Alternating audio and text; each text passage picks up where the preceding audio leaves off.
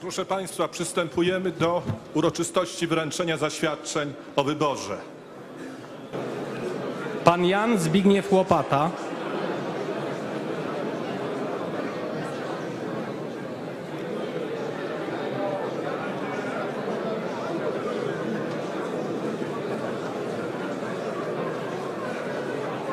Pani Marzena Anna Machałek.